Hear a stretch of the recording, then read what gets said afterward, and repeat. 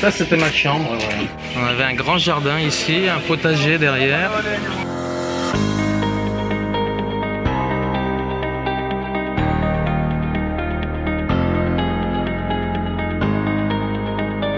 Thierry Brévaux, entomologiste, Huper Aïda. C'est ici que tout a commencé pour ma carrière de chercheur au CIRAD. On est ici au Sénégal. Voilà où j'habitais il y a 24 ans. C'était une vraie vie de famille où on partageait euh, les repas ensemble, euh, entre communautés de religions différentes, euh, avec une très très bonne ambiance. C'est l'Institut sénégalais de recherche agricole qui m'a formé.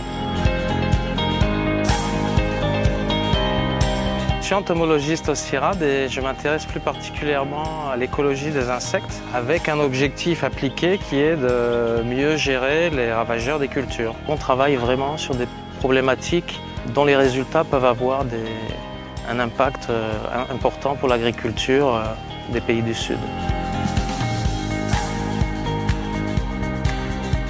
J'ai deux grandes passions, c'est la, pêche en rivière et puis les abeilles. On sait bien qu'elles sont en danger actuellement euh, à cause des pratiques agricoles notamment, mais aussi des invasions de, parasites et de, de maladies. Ça fait partie d'une des thématiques euh, que je souhaite développer au CIRAD sur l'abeille en tant que pollinisateur et agent de biodiversité. Au Sénégal, c'est la teranga, hein, c'est euh, l'accueil de l'étranger. En fait, c'est très important ici. Même si on n'a rien, on se doit d'ouvrir la porte à l'étranger.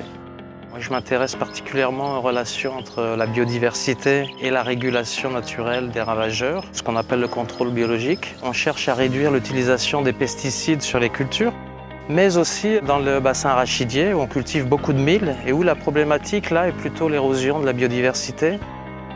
Dans notre métier, il y a une partie recherche, bien sûr, production scientifique de connaissances, mais aussi une grande partie euh, qui est liée à la formation. J'encadre énormément d'étudiants, 4 ou 5 masters par an, 2 doctorants en ce moment. Ça, c'est vraiment quelque chose de, très intéressant aussi, de pouvoir transmettre euh, la flamme de chercheur.